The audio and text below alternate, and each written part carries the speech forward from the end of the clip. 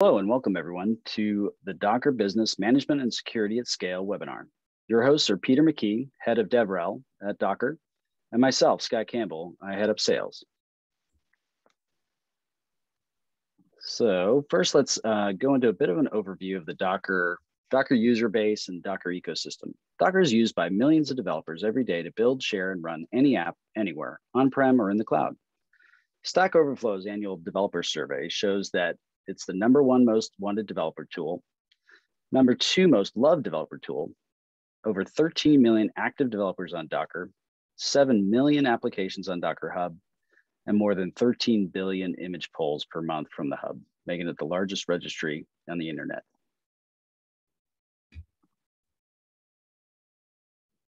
For those new to Docker, and even for those using Docker for many years, the Docker ecosystem is surprisingly rich. All these tools, content, and integrations help developers build, share, and run applications at scale. There's a lot of information on this slide, but I'll walk you through it. Docker Desktop is much, much more than a pretty GUI on top of Docker Engine. Docker Desktop is designed to let you build, share, and run containers easily on Mac and Windows. Docker handles the tedious and complex setup so you can focus on writing code. Some of the magic Docker Desktop takes care of for developers includes a secure optimized Linux VM that runs Linux containers and, and or sorry, tools and containers, bundled container tools, including Kubernetes, Docker Compose, BuildKit, and security scanning.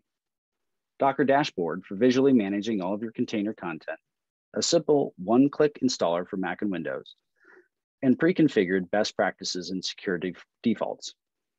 Docker Hub is a, a service provided by Docker for finding and sharing container images with your team. It has an array of content sources, including community developers, open source projects, and in independent software vendors building and distributing their code in containers. Official images are curated by Docker and include a set of over 140 repositories. They pro provide essential base operating systems, middleware, and databases, such as Ubuntu, Nginx, Node, Alpine Linux, Redis, that all serve as the starting point for the majority of users. Official images exemplify best practices and provide clear documentation to serve as a reference for other image authors. Importantly, we ensure that the security updates are applied in a, in a timely manner. Docker verified publisher images are those that where we formed relationships with the ISVs themselves, ensuring that developers can trust the provenance and security of hundreds of commonly used applications. Docker Hub is also the control plane for your Docker admins, where users, audit trails, security scanning, image sharing, and image restrictions can all be centrally managed. Peter, over to you to chat a little bit more about the ecosystem vendors and who we integrate with and how. Yeah, great. Yeah, so we have uh, tight integration into uh, a couple of the major cloud providers, so AWS and Azure. So directly in your command line on your desktop, you can point your Docker engine, uh, your CLI into a different context. So you can point it into the cloud, into AWS, and you can run your container workloads directly in AWS using the Docker command line, the tool set that you already know and love using Compose. Same thing is true with Azure and uh, ACI. And then we also have tight integrations with GitHub, Bitbucket for code uh, repositories. So you can uh, listen to webhooks when you're uh, commit new code into your repos, and then you can kick off automated builds that build your images and then push those into Hub. Uh, we also have a tight integration into VS Code. Um, so you can work with Docker and the Docker engine right inside of VS Code, run your containers, build your images, uh, manage images on Hub. You can also uh, run your images inside of a dev container and be able to do uh, development and debugging your code right inside of uh, containers yeah, back to you, Scott. Okay, great. Let's go ahead and move on to the next slide. Cool. So why is all of this important? Productivity and agility is one of the first bullets on this, this slide here. The speed and simplicity of Docker is really what originally drew in developers to the Docker product, the, the you know container management system, and all the various different tools that we offer. They were users of that tool set were simply able to ship more software faster the fundamental, the, this fundamentally changed the way in which companies could innovate. ING, for example, went from shipping once every nine months to shipping over 1,500 times a year by adoption of Docker and DevOps. Capital One was able to use Docker to transform how they use data to empower their data scientists and business decisions. Freedom of choice is critical. Deploy on the, crowd, on the cloud, on-premise, or hybrid, Linux or Windows, Docker native or third-party tools. It's entirely up to you. Existing or greenfield apps. No other containerization approach can say this. Modernize at your pace, not ours. When it comes to security, the key is secure control of your environment and the ability to audit every step in the process. Docker containers are more secure than other approaches with arguably the smallest footprint for attack vectors out there. So Docker has been around for over 11 years now. And as customers have begun to rely on Docker for major parts of the developer tools and infrastructure, we've increasingly heard two key challenges that, that they're facing. Software supply chain attacks are accelerating. Leaders know that in order to ensure secure applications, it starts with the core building blocks, which Docker Hub supplies, and Docker Business enables you to manage. When developers pull arbitrary public images, it puts the organization at risk. Managing hundreds or thousands of developers at scale presents its own unique challenges. Currently, or without Docker Business, no, there is no visibility or control over access to content. And this is especially top of mind for large companies with many work from home devs causing limited visibility. No centralized place to manage users, no centralized place to configure policies. So listening to our customers and users, we recently launched the business, the, uh, sorry, the Docker business subscription tier to address the needs of sophisticated organizations at scale. Docker Business includes SaaS-based user management, image restrictions and access controls, which I'll cover in the next slide. Coming soon, we'll have SAML-based single sign-on, one of the most popular roadmap items we've heard over the last couple of years for sure. In our short and midterm roadmap, we will offer an array of additional control plane features that include support for local registries such as Artifactory, along with other public registries such as ECR visibility into what images are being consumed, versions and security vulnerabilities, and a host of developer productivity features that will continue to delight our users. Docker Image Access Management is the first of many control plane features to be added to our Docker Business subscription tier. Image Access Management allows you to stay more secure by managing which containers images developers can use. It also allows you to gain more control by configuring Docker Hub organizations to only allow limited subsets of images, groups, or namespaces. In our first version, image, access management allows you to restrict access to only Docker official or Docker verified publisher images. At the end of this part of the presentation, Peter will be doing a demonstration of that feature.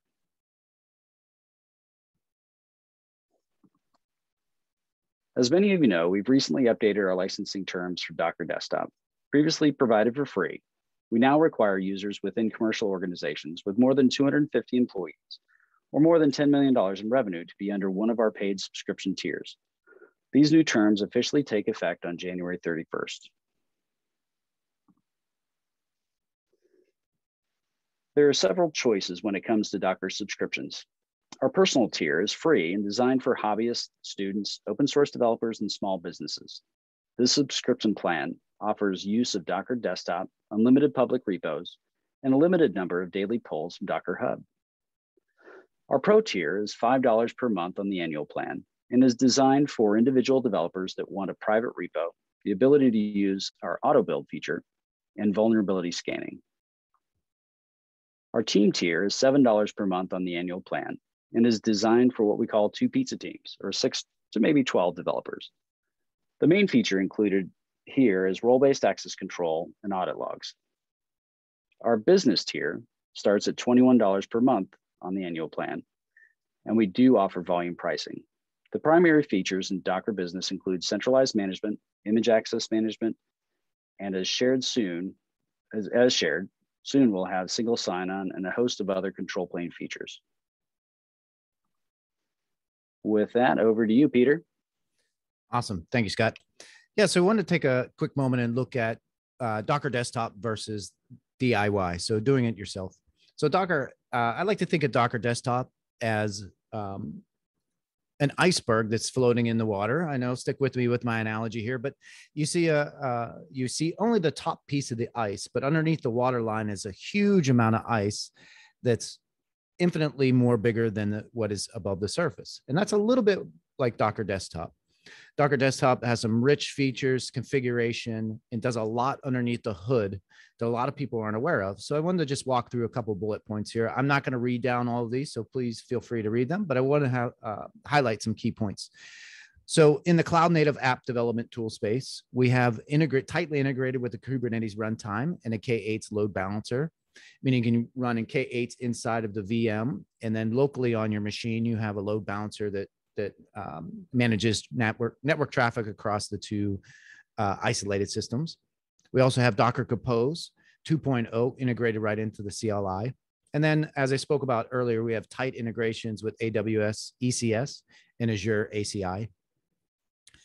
And then, as Scott mentioned earlier, also, we have a little small VM, lightweight and secure, that Docker manages on either your Mac or Windows, where we run the Docker uh, engine inside of it. Uh, that is all managed by desktop, kept up to date. Uh, you have the latest and greatest there. Uh, we also handle all of your security. So we automate the security patches. We actually send, uh, when you update, we only do the Delta. So they're small updates that you can update very quickly using Docker Desktop, nice and seamless. Um, we also do uh, image vulnerability scanning. And some of the really the core features that I talked about uh, briefly at the beginning is this one click installation, configuration, and maintenance updates. So, in a DIY situation, uh, if you were building out these full feature sets, uh, that's not the end of the game, right? You have to maintain those, you have to keep them up to date, you have to make sure they're configured across all your different workstations, all your different developers' environments. Um, you have to push updates, you got to make sure all your developers are on the same version, all those things um, which are very complicated to do. And Docker does very well. So we have all the dev tools integrated. So the engine, Kubernetes, CLI, build, compose, consistency across your Mac and Windows. So in a heterogeneous environment, some developers are running Mac, some are running Windows.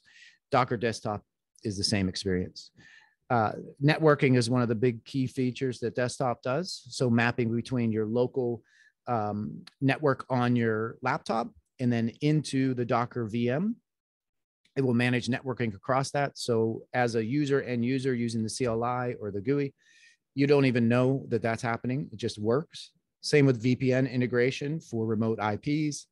And then bind bounding, uh, bringing your code inside of a container or volumes, persistent storage across your the Linux VM and your local host system is hard to do. Docker takes care of that all for you.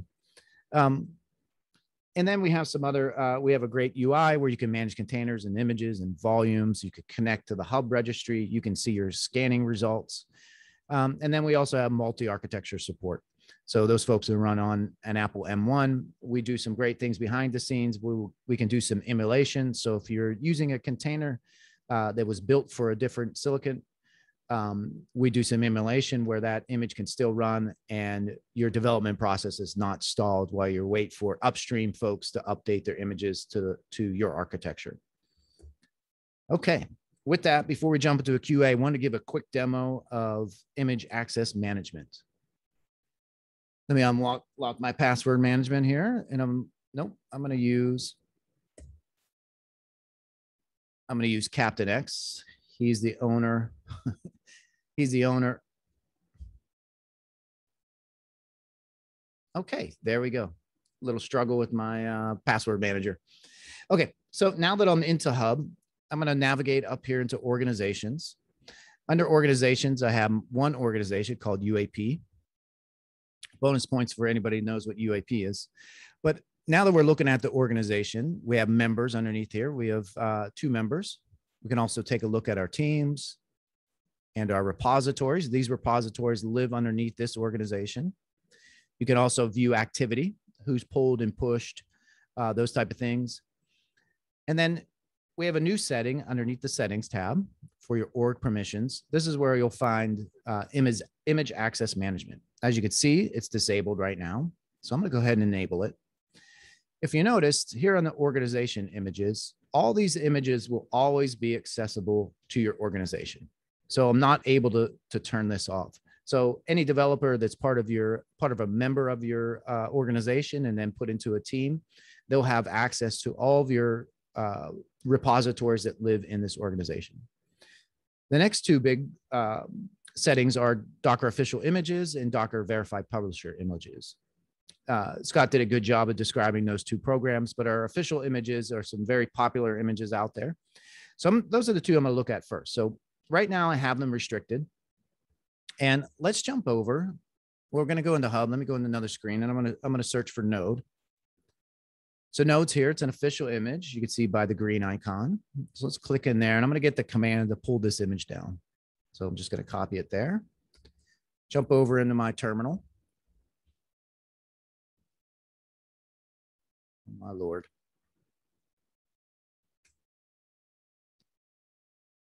Okay, I'm going to go ahead and copy this command and jump back over to my terminal, paste that in. So I'm going to do a Docker pull node. So that's going to go out to hub and try down, try to pull the official image down to my local machine. And there we go. Access has been has been denied. It's saying I need to log in. I'm already logged in. Let's double check that. So I'm going to I'm going to log out and then I'm going to log back in. And I'm using uh, another account that's in this organization. Let me just show you so you make sure I'm not using, uh, verify that I'm not using a crazy account. So there's uh, this user that I'm using. And they're a member of the sales dev team. Okay, so jump it back in, let me log in.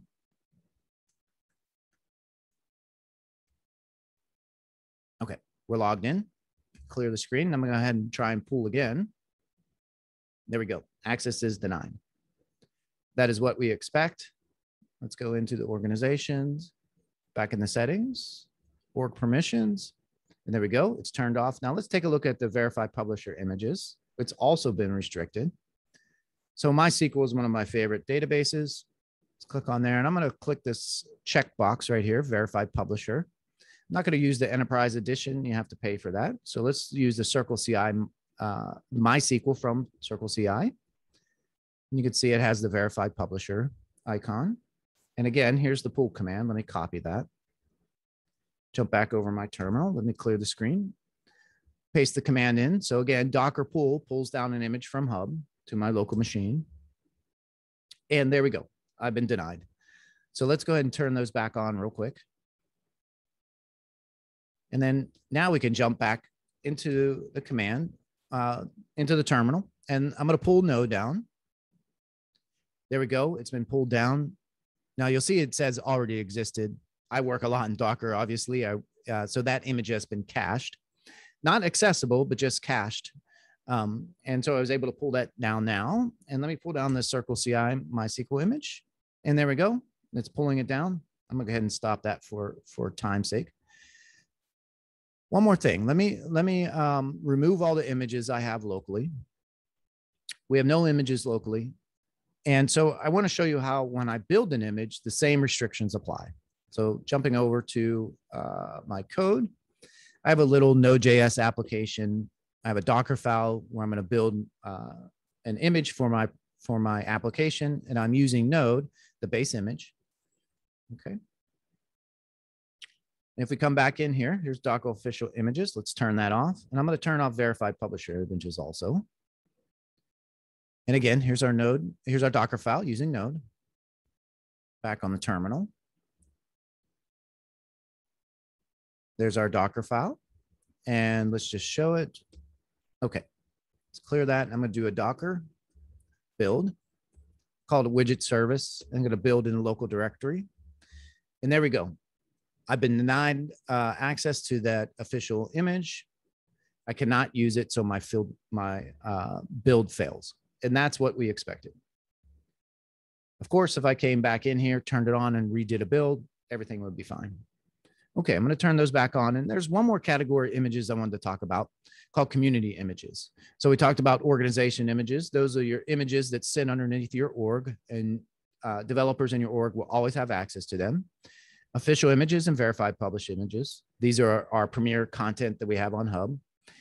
Everything else that is public on Hub is considered a community image.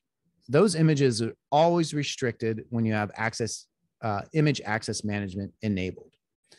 So if I disable it, you can see you can now pull community images, but when it's enabled, they're always restricted and I cannot turn that off. Okay, so those are the new features we have in image access management. Uh, let's jump back over to our presentation.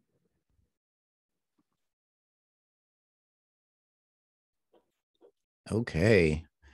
So uh, thanks everybody for watching. And uh, we're going to take a couple questions. I got a really good question right now from the audience. Does centralized user management include the activation and deactivation of users within the license? Can we do this on our own in some sort of dashboard? So yes. So Scott, you want to you want to jump on that? I know you typed an answer already, but you might be able to handle it more eloquently than me. Let me take myself off mute. Um, yeah, for the the short term, uh, it'll be handled just the way it is done currently in both team and Docker business, which is you know, managing them via the admin, uh, or if you're the owner of the Docker org, through the admin settings, uh, you can add or remove users. I've included a link there in the answered questions.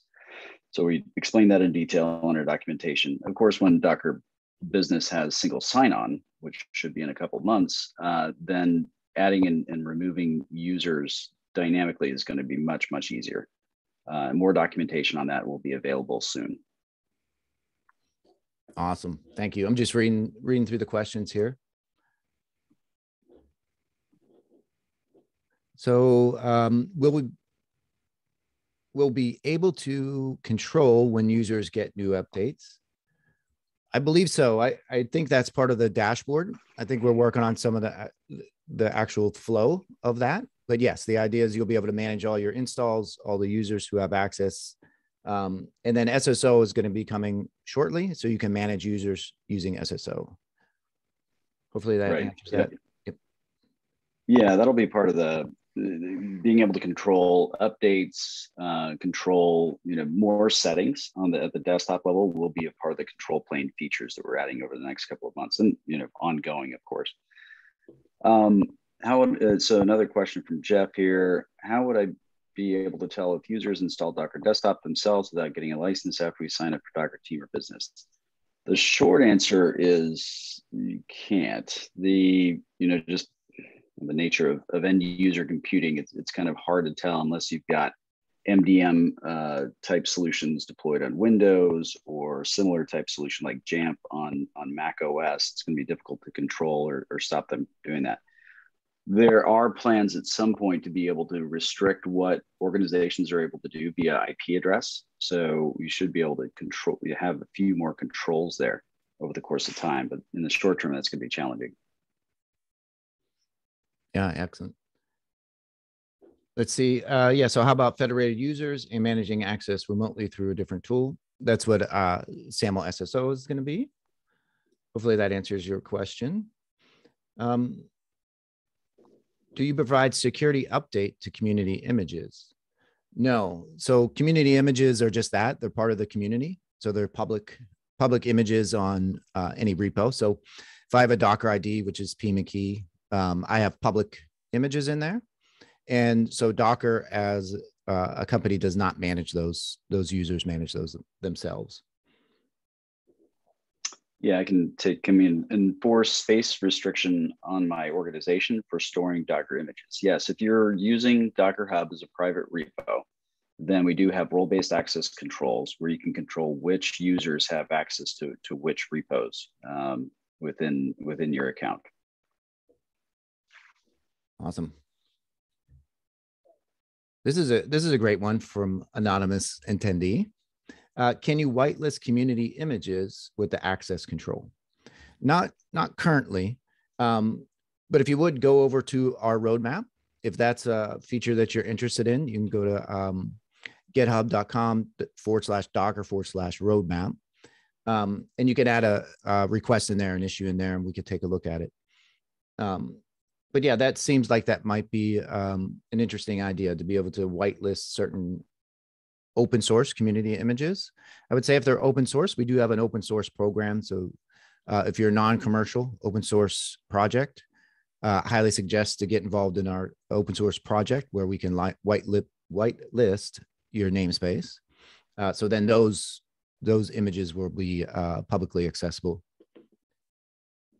Yeah, Oh, some also- community images are are a part of the DVP program that uh, that Peter and I described as part of the image restriction uh, management that you've got within Docker Business. You can, you know, of course, toggle on and off whether or not users have uh, can pull only from Docker official images or Docker verified publishers. There are several hundred Docker verified publishers today. Um, that and again, that's where we work directly with the the publisher themselves to ensure that we understand the provenance of it uh, of, of those images and making sure the images are coming directly from the publisher so you've got a, a better security posture with those images. Um, and those are again part of the image restriction access so you can restrict users to only those. But um, you know more and more vendors are, are including open source are joining the dvp program. Um, so over the course of time you'll uh, you'll be able to enjoy that more but it's a it's a really good question. Thank you Yeah. Hey guys, too, if you would please put your questions into the Q and A section. You should be able to find a Q and A session instead of the chat. It's a little bit easier for us to see them and answer them. Um, yeah, thank you. Um, then we have one: Can Docker Swarm be used um, in production, and how is it uh, compared to Kubernetes? Um, so Mirantis uh, took over the Swarm project, so probably best to reach out to them and, and get answers about Swarm from Mirantis. Uh, question from Rajesh. Uh, how many images can we keep on our private Docker Hub repository? Is there any restriction? No restriction. You can have as many images in there as you like. Um, there is currently no storage limit. Uh, we do plan on implementing some storage limits. As you can imagine, some of them get a little out of control. Uh, and the you know, millions of, of users we have at Docker Hub, but that probably won't happen for another six or eight months, I would say. Awesome. Also, to everybody, I just put the link to our roadmap in the chat. So if you click on that, again, uh, that's our public roadmap. Uh, please get involved if you want to get involved in the direction of Docker's products. You can jump in there and can have a conversation with our engineers, our product managers. Um, we definitely use that roadmap. So please go in and, and read it, upvote um, features that you're interested in or add features that you don't see there. Just wanted to make sure I dropped the link in there. Great. Um, I'll tackle this one. Where can we find more information on volume pricing? So you should uh, go to our, our pricing page, uh, docker.com slash pricing, fill out the contact sales form, and we'll be able to work with you directly on sharing that volume pricing with you. Awesome. Another, Peter, maybe you can help out with this one. If we purchase uh, business licenses for desktop, whether our customer needs purchase it too after we deploy our applications to our customers. So if I'm understanding that question correctly, if you are distributing Docker desktop to your customers, that is a violation of our license agreement. So you'd have to contact us. We can provide you with a little bit more information. The same pricing page, contact sales form, we can give you additional information on you know what that what that looks like um, some alternatives uh, for how to uh, potentially you know approach that that use case um, we, with ourselves or maybe even a different vendor. Um, but we can tackle that offline because it, it tends to be a pretty uh, in-depth type of conversation. Yeah so here's another question. I'm not a Docker user, but I do manage the software assets. Do I need to have a Docker subscription to manage subscriptions for the organization? If the organization is over 250 people or uh, has revenue over 10 million, then yes, you will need uh, subscriptions for each desktop that you have uh, installed in your environment. You got the volume pricing, Sorry, folks, just reading through questions here. Yeah, Peter, I think you should probably tackle that last one from from Lewis. Uh, the oh, from Lewis. Okay. Is there a plan uh, for the option to prevent overwriting of tags in Hub that follow a particular pattern? The some all alias tags like latest or uh, develop could be overwritten, but semver based uh, tag names are prevented from being overwritten. Oh, that's a great that's a great feature. I'm not 100% sure if that's on our roadmap yet, but I'll, I'll give you my roadmap uh, speech again. Uh, Lewis, please go put that in the roadmap. and we can have a discussion around that. Yeah, it seems um, seems like an interesting feature. Um, I definitely our product team will have more thoughts about that, be able to discuss it a little bit more and get the specific scenarios. But yes, thank you, Lewis. So what subscription do we need to run Docker 1.13 and Docker 1705 on production servers? If you are running the Docker open source engine, then uh, you do not need a subscription. But if you are using Docker Desktop um, or using Hub, then you'll need a you'll need a uh, subscription. Anything to add there, Scott? Nope, that was great. Thank you. Um, could you upload the slide deck? Uh, oh, I just lost that question, but can you upload the slide deck offline? Yes, we're going to post this uh, webinar uh, on our webinars page. And I believe if you're an attendee, then we will send you an email with uh, ways in which to ac access that. Yeah, and the and we'll send the recording out within I'll say 48 hours. It's usually quicker than that. But we do send out the recording and an email. If you registered, you'll get that. Now, let me see here. Looks like the questions have slowed down a little bit. You see anything in there we haven't tackled, Peter? I don't think so. I think we've got everything. But um, again, re reach out and if you're not in our community, please join our community. Um, so you can go go to docker.com forward slash community. That will take you uh, uh, to our community page where you can um, plug into our Slack community, our discourse, and our forums, and um, and then also get involved in local meetups. So we have local meetups all around the world, very active. Um, you can join a local meetup. That's one of the best ways to get involved with Docker. Um, some are coming back in person. It just depends on where you're at in the world, but a lot of them are still uh, virtual. But yeah, please get plugged into that. Um, and then join our community Slack. Uh, all of our engineers are in there. Uh, myself is in there. Please feel free to ask questions. Our community is fantastic. Our captains are in there. Community leaders um, can help get some questions answered for you. But please reach out. Um, reach out to me. Send me a direct message on Slack if you want. Um, it's a little hard to help troubleshoot, you know, specific issues you're having in your specific environment, but I can do my best and I can get you pointed in the right direction. But yeah, I think that's. I think we're at the end, Scott. Thank you so yeah. much. I appreciate it. Anything to, to add?